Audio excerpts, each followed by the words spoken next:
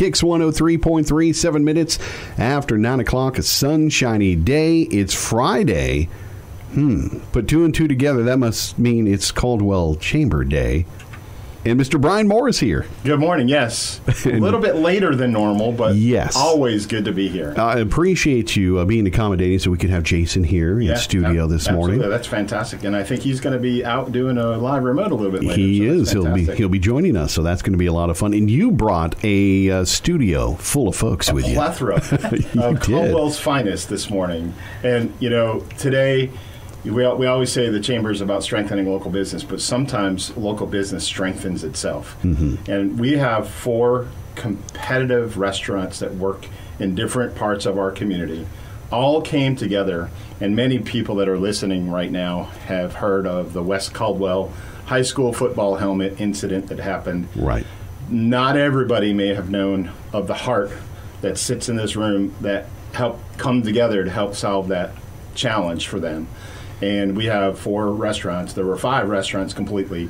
Uh, one of them couldn't join us this morning, but we have uh, some great group of people. I'm going to start with Zach from Chick fil A because they kind of birthed an idea and brought together these fine folks. And Zach, tell us a little bit about what the heart was and why you guys came together and why you reached out to these other restaurants. Absolutely. Well, thank you so much, Brian and Dave, for having us this morning. Um, we really love working with our local high schools, our local high school athletics. So, uh, when we heard about this really unfortunate news that happened in our community, um, we really r- realized that we needed to help in some form and fashion. And so, the, the idea was quickly birthed in our internal leadership, and uh, we were able to reach out to some of our other local restaurant partners. And within a span of about two days, uh, this big Spirit Week campaign uh, was formed to hopefully uh, help ha- help the community buy new helmets for West Caldwell, Right. um, which we were able really successful to do. So um, it was a very quick genesis. Uh, we have some great restaurant partners, and it came together really, really quickly. That's fantastic. Thank you for the, the insight on that. So you reached out, Zach, to all these folks. Uh, Darren, I'm going to let you talk a little bit about the Shaken Dog and your restaurant in downtown Lenoir and all the things that you were able to put together. And, and tell us a little bit about your heart to support this and like, oh, yeah, I can work with Chick fil A on this. Not, not everybody in their right mind would think that all these restaurants could come together and make this happen. Where'd your heart come from? Well, we were privileged to be able to be part of this. Um, one of the things that we've done since we've opened has always been to try to be involved with the community. You know, the community has been great about supporting us from day one, so we always want to be able to give back. And when we heard about it, it was, you know, it's kind of heartbreaking things like that happen, but we were really, really excited to be part of the solution and be able to reach out and help with that. And we appreciate Zach and everybody else that came together and involved us and gave us an opportunity to give back as well. That's amazing. Yeah, it's fantastic. We're, we're going to go around the room. Village Inn, Penny, uh, you guys jumped in to help as well. You had one of the days of the week. We did. Um, and I think you guys ended up with a Chick fil A cow even at some of your We restaurants. did. Over the course of this, which is just amazing to think about how Yeah. these all came together. Tell us about your heart of the story. Well, you know, we uh, Village Inn has been in the community for years and years Yes. and years. We are a small family-run business, Beloved and part of our community. and uh, we love that small town feeling. And I myself, having three sons that played football, uh, it really hit home for me. You know, and I said from day one that these children should not have to pay for the sins of another. And I was so blessed that I was reached out to, and we jumped right on board. Uh, we even had a little dressed up pizza fellow that played I saw cow. the pictures. Um, but the thing that really warmed my heart the most, honestly, was that the night of the fundraiser, I had multiple, multiple football players that came in, and the coaches came in. So they weren't just sitting back with their hand out, you know, accepting funds. Yeah. They participated in it. They stayed. They communicated with all the the community that came in, and it just warmed my heart. I mean, I was brought to tears multiple times. I had one of my regulars, uh, Donnie, that comes in and put three hundred dollars in the donation jar at the register. You know, so it just it was a sense of community, and I was so blessed to get to meet all these fine folks from all these other restaurants. That you know, in the restaurant business, we don't always get to visit other restaurants because we're busy in ours, right. and it just did my heart so good. And even now, I'm still getting feedback from the community Yeah. of what we did, and and I, I'm truly felt blessed to be part of it. Yeah, it's fantastic. Thank you. Thank you so much. And then uh, April Dennis from Highway 55 also participated in this. And you think of a Chick fil A and Highway 55 as major brands, right? But they're local people. These are my friends that are standing Right. in this That's right. room. They're local business owners and operators as well. April brought the Highway 55 brand here, been with the Highway 55 for a number of years, and brought this to our community. And she lives here, so she's part of our community. So tell us a little bit about your part of all of this. Yes, I'm blessed to be here with each one of you today, too. Um, exactly what everyone has been saying. It was just truly a blessing. When Mike came in and, and he asked, would we be a part of it, it was a no brainer um, because our, you know, our feeling is anything we can do to be part of the community, that's what we want to be. We want to be a center spot for the community to be able to come and to hang out and to do things and to see their family and see their friends. And part of our, our motto is we love our neighbor. And if we're truly going to live by that, then whatever the community needs, when the community is in need, that's when we have to rally together. It doesn't matter what we do for a living. And I think it was just wonderful that all of us restaurateurs were able to come together, have some fun together, but also do it for the right reasons. And I think that it just kind of laid the foundation for the future for all of us to see that if you come together, you can truly be a blessing in the community. And we can do what's right by our kids in the community as well, because they are our future. And um, we were just honored to be a part of it. That's fantastic. Thank you. Um, Zach, do you want to mention a little bit about JD's, who's also a partner of this, who couldn't be here this morning, but we don't want to leave them out because they're part of this five day Spirit Week campaign. Yeah, I'm so glad you brought that up, Brian, because JD's were also a very crucial part of this event. Uh, JD's Smokehouse in Gamewell.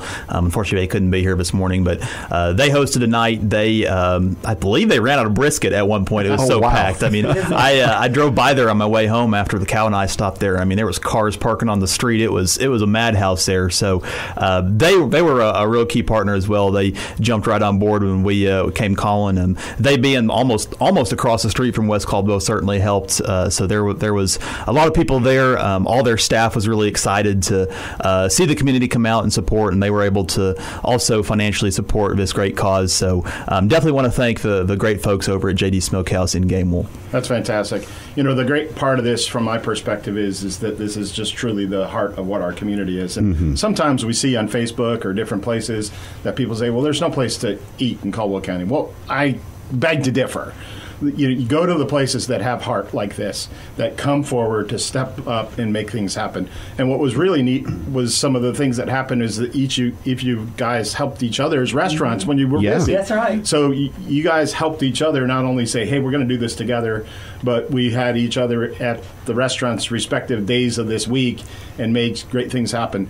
Zach, do you have any um, idea of uh, how successful um, the campaign was and how effective we were to help with West Caldwell in this process? Absolutely. So uh, once the campaign concluded, combined with the funds that we raised as five restaurants plus some other anonymous community donations, we were able to fully buy uh, new uh, helmets for West Caldwell, and they ended up having some funds left over to do some other upgrades as well. I believe they brought bought a new ice machine for their uh, their locker rooms and things like that. So um, it was a very successful campaign, and we really want to thank the people who visited all 5 of our restaurants. Right. They're the real they're the real right. players That's in right. this. That's so right. Um, they they're the ones that are, that really were allowed allowed us to, to buy the new helmets. In fact, I was just uh, at one of West Caldwell's practices earlier this week and got to see those brand new helmets up close. And man, they are the top of the line helmets. They're Nice. they're awesome. The kids love them, so um, they're they're they're really really good. And so, like I said, I, I, I can keep going on and on and on about how humbled and, and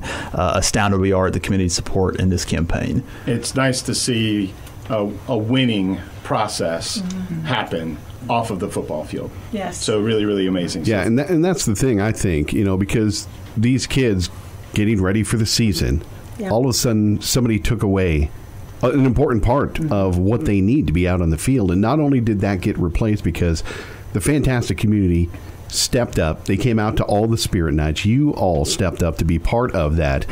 But I think it probably really cemented for those kids how much the community really does value them, how important they are, and what they mean to the community.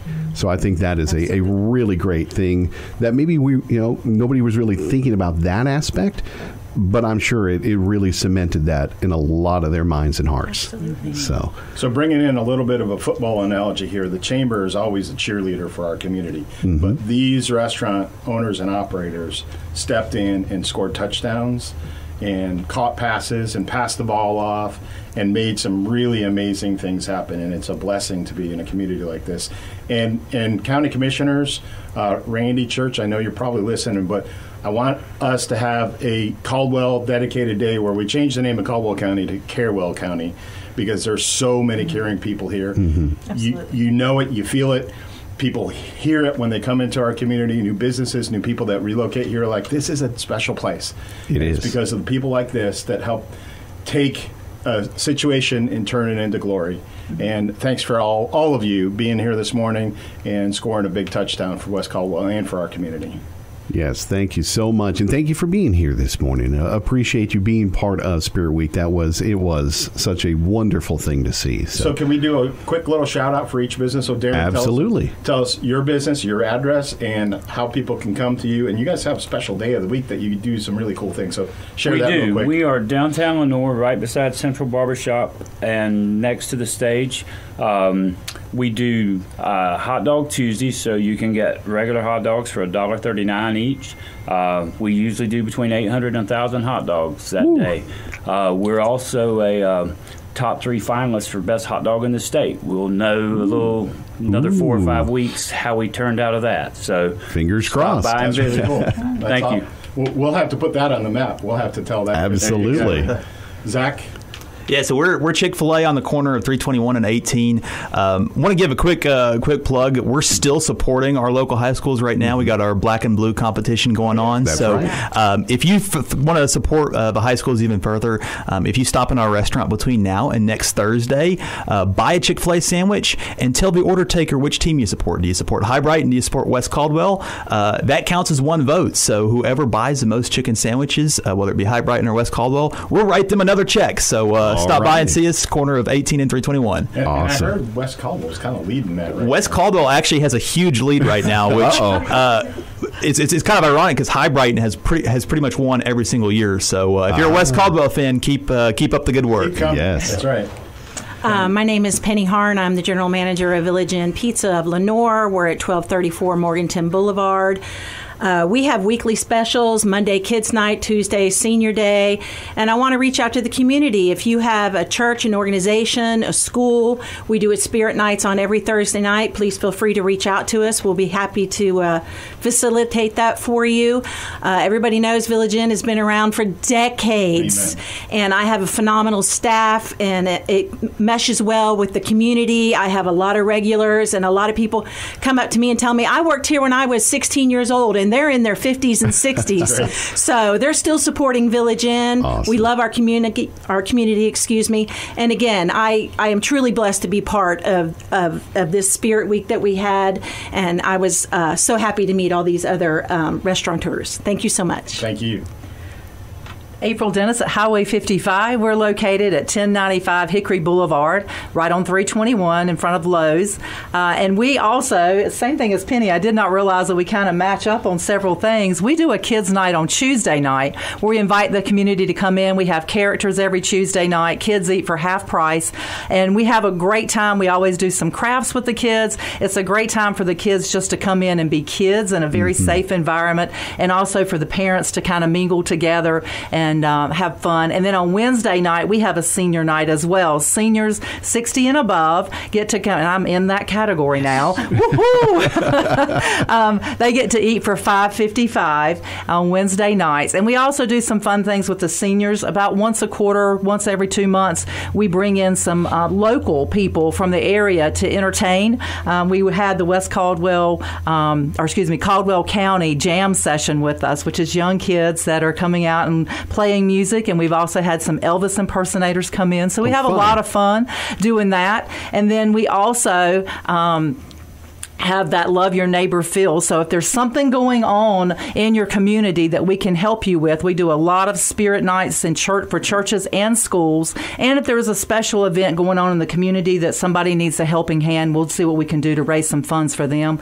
You can use our TV screen as well to promote some local things that you have going on in the community. We want to make sure that TV that's running in our um, lobby reflects our community. So if there's something going on that you would like for us to share with our community, just let us know and we'll be glad to post it up for you.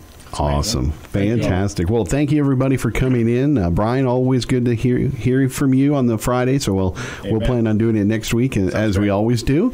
But uh, back to the normal time. Are you good with That's that? right. Yeah, I'll be I'll Okay. be here at eight next week. Well, everybody have a wonderful uh, Labor Day weekend. There's our Kicks Morning Chat.